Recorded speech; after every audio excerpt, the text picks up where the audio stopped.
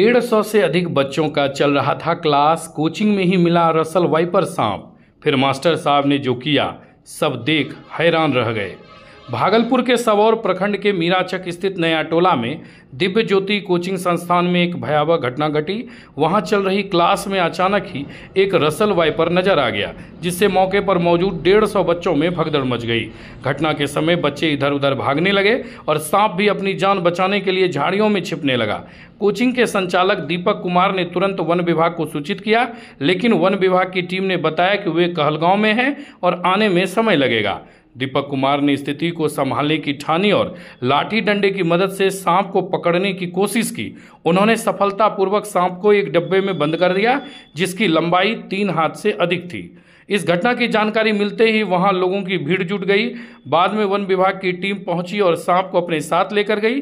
दीपक ने बताया कि कोचिंग में क्लास चल रहा था। जब बच्चों ने सांप देखा तो भगदड़ मच गई। यह घटना स्थानीय लोगों के लिए एक चेतावनी बन गई है कि उन्हें ऐसे खतरनाक जीवों से सावधान रहना चाहिए। एक बार जान लो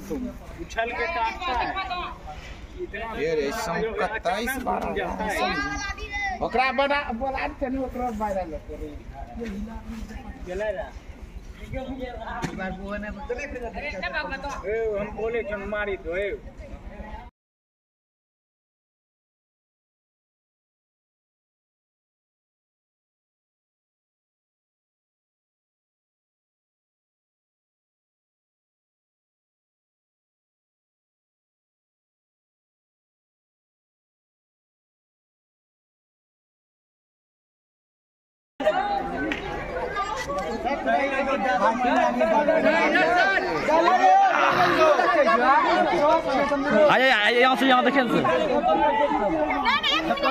नहीं नहीं मिनट ना ए, कोई मिनट ना।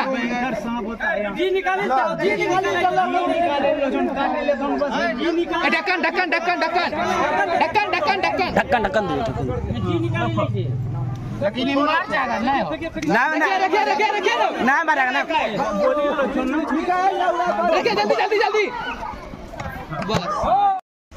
ए, बहुत हार्ड दौड़ता है एक बार जान लो तुम उछल के काटता है ये रे संग कत्ताईस बार। है ओकरा बना बोला तनी ओकरा वायरल करे चला जा ए, हम बोले चल मारी दो ए।